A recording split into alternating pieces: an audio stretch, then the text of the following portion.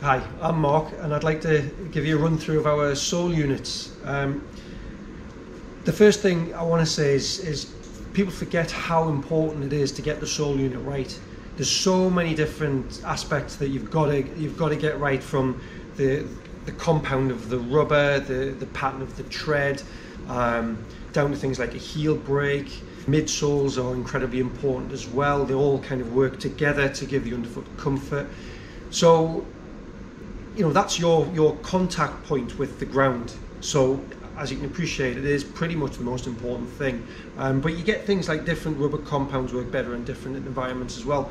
A wet slate for example is pretty poor for any type of rubber um, but you just got to make sure you get that balance right of durability um, traction and grip there are obviously different levels of outsole as well. You get something for kind of path walking, which can be lighter weight, lower profile. You get something for for uh, more strenuous terrain, kind of mountain use that you've got to have much a deeper tread, uh, more aggressive.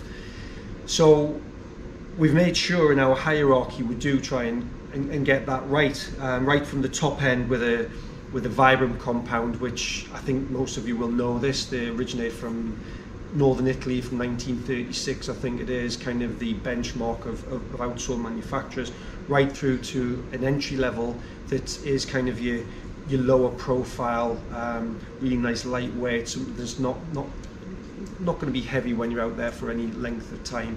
Um, so running through the range, what we have, like I say, we have Vibram.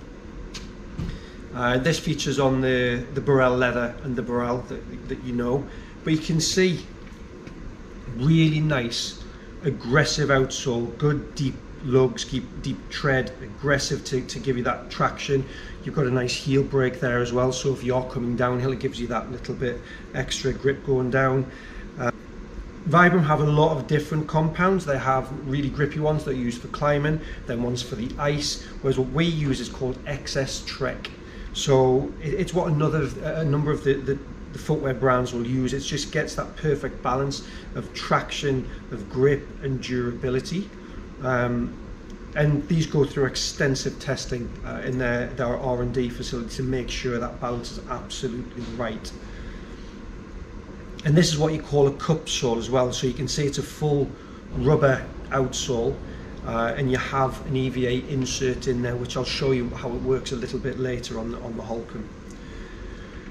So then we've got Samaris outsole, uh, as we all know, was updated a few seasons ago. So we've got a really love, tr lovely tread pattern there, really nice grip.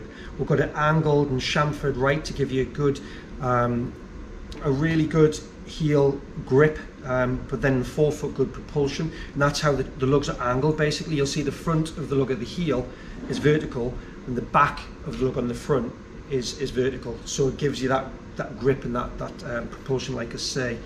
And we've chamfered them as well with quite smooth sides. And how that works, and it's the same with all of our sole units, how that works is, is because it's chamfered, it means it'll be self-cleaning, so the, the muck can disperse a lot easier, doesn't get attached too easily. Whereas if you have really big treads and the, the, the base of the sole, it, has got something to adhere to, to grip to, so you don't want that.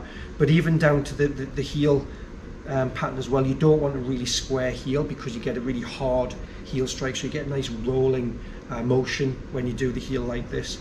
Uh, and you can see we've obviously got plenty of, of, of, grip on that heel or tread on that heel as well. And this, uh, you can see it's you've got your, your rubber outsole, which is a really good durable rubber, but then you've got your EVA midsole.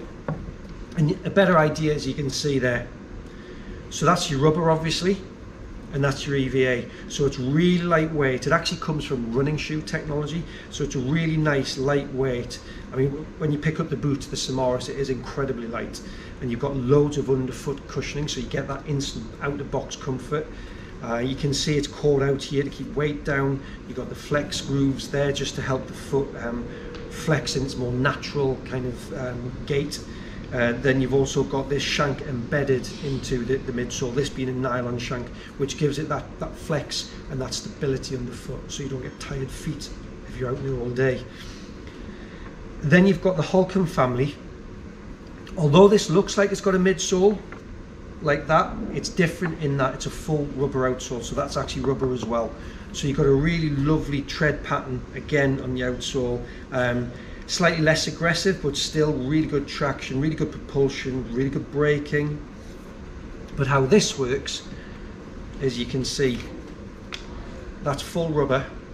It's cord out in the middle there.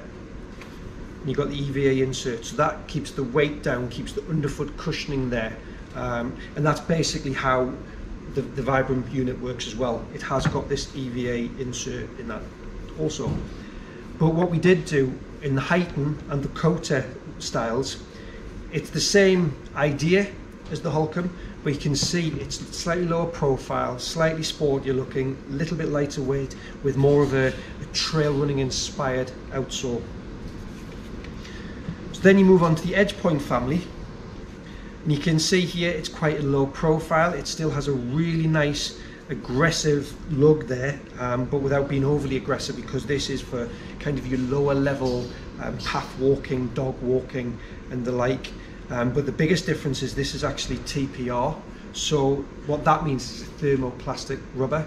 Um, and all it means is it's slightly less durable than, than full-blown rubber, but you still get plenty durability. It still has great grip um, and it's very lightweight as well and you can see this this, this translates into the, the kids as well. So you've got the kids Holcombe range the edge point range. They use the TPR as well. So for kids it's great because it's it's that little bit lighter weight. It's got good traction good durability. But we also do have the kids Samaris which you can see it's a similar unit to the adult Samaris. And what we've done is it's the EVA again. So you've got that lightweight underfoot cushioning and nice thick EVA as well. So it's really uh, instant out of box comfort we talk about but you've still got that durability and traction from and protection from the rubber so there's quite a few um, units we use in the range, but obviously each has its own purpose from you know from your Vibram through to your, your, your more entry level TPR, um, and they're designed for to fit the, the, the relevant end, end purpose. Thank you.